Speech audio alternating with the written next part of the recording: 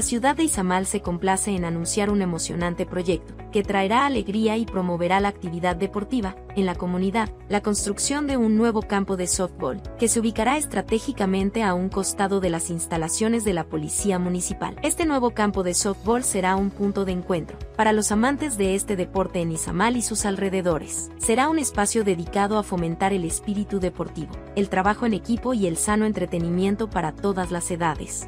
Quiero compartirles que la semana pasada nos reunimos con los integrantes del Cabildo para sesionar la cuenta pública y ahí aproveché para hacer una propuesta en donde tiene que ver con la construcción de un campo de softball.